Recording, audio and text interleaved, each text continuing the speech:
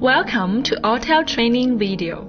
It has become very difficult for Thai shops nowadays to keep up with dizzying variety of OEM sensors, and even impossible to stock the incredible number of OEM sensors that would be required to cover the market. In addition, the original TPMS sensors with sealed battery generally last for 6 to 8 years. With the large scale of sensors in use for 6 years now, the first wave of battery failures is starting to appear. That means an enormous number of sensors will have to be replaced in the next few years. Autel's Maxi TPMS Smart Tool series come just in time to quite literally save all troubles. The Maxi TPMS system consists of the programmable MX sensors that cover both 350 MHz and 433 MHz radio bands a professional OBD2 TPMS diagnostic scan tool able to relearn vehicle ECUs and program the MX sensors, plus a convenient programming accessory device to perform fast sensor testing and cloning. In short, it covers all that is needed to deliver comprehensive TPMS services. The Maxi TPMS series is aimed at simplifying TPMS services to help you solve problems more easily and efficiently and enhance your profitability. There are three basic procedures for solving most of the daily TPMS repair scenarios you may encounter. Activating TPM sensors. Cloning a set of TPM sensors. Creating a new set of TPM sensors. Now we're going to show you how the Maxi TPMS tools interface with each other to complete these procedures quickly and easily. When the TPMS warning light is on, it may indicate low tire pressure or broken sensor. In order to solve the problem and turn off the warning light, let's start from the first procedure to activate the TPM sensors using the TS601 scan tool. Power up your TS601 and select TPMS from the main menu.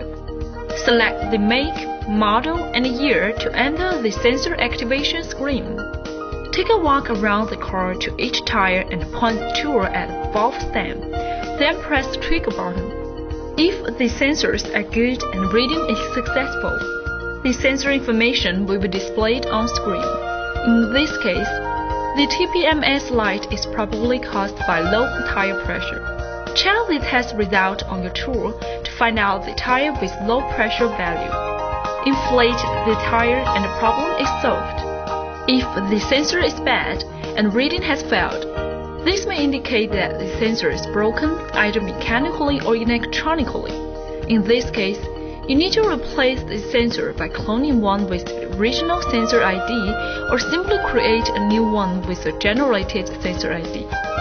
There are three ways to clone a set of TPM sensors using the TS601 scan tool and an MX sensor. With first method, use your TS601 tool to activate the broken OE sensor directly to retrieve the sensor ID, and then program to the MX sensor. The second method can be used when the original sensor is not transmitting anymore.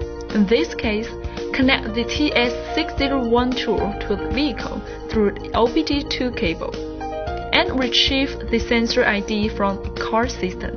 Unplug the TS601 from the car when learning is successful. Insert the MX sensor and program the copied ID to the sensor to finish cloning.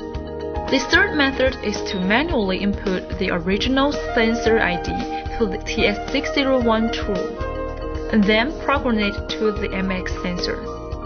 Since the new sensors are programmed with the same original sensor IDs and installed in the same position, no TPMS relearn procedure is needed after replacement. When the original sensors are electronically broken that reading has failed, all the sensors are simply missing with no reading. You can always use the TS601 scan tool to create a new set of TPM sensors.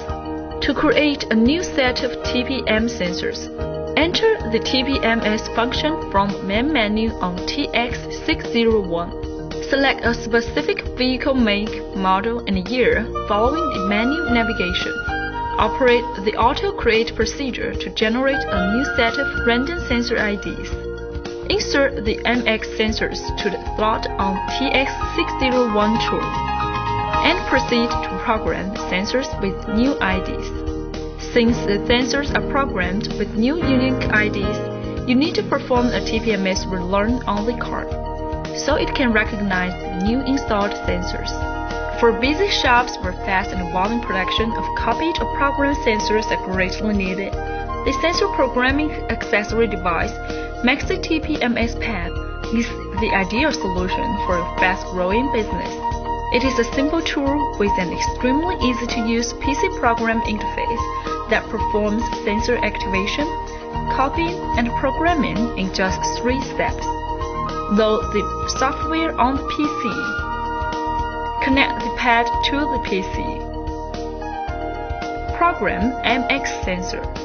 Thank you for watching. If you have any question or suggestion about our products, please visit our website or simply call us